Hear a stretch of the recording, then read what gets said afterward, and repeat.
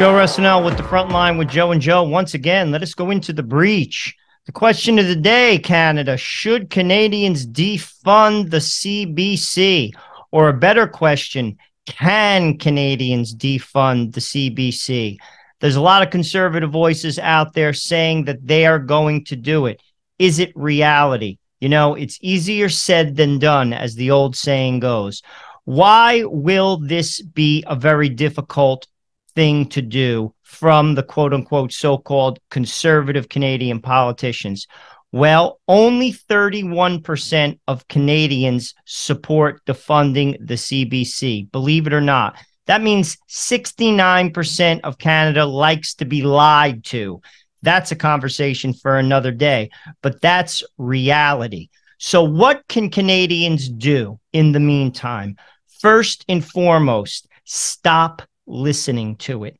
Financial boycotts work. What do I mean by that? Boycott the CBC. If the 31% of the Canadians that want to defund the CBC actually stop listening to it, you will put a dent into the organization. That's number one. Number two, conservative politicians should look at this realistically.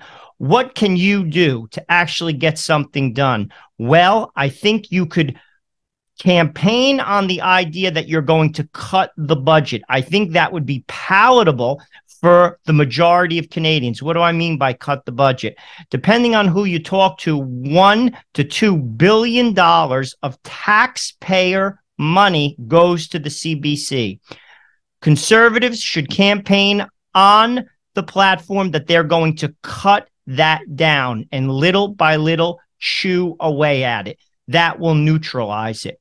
Ultimately, a politician is not going to be able to gut the Canadian pillars of power, i.e., the CBC and all the rest of the establishment. Ultimately, Canada needs an outsider. An outsider has to come in that is not a career politician. And frankly, returns the country back to the people. Because ultimately, the mainstream media is the enemy of the Canadian people. And journalism rests in organizations like this mom and pops, frontline TV, and alike.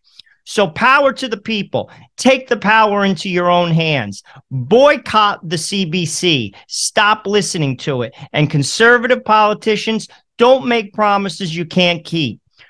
Work towards cutting that budget. It'll neutralize it. In the meantime, look for that outsider. That is the answer to your problems, not career politicians that make promises they will never fulfill.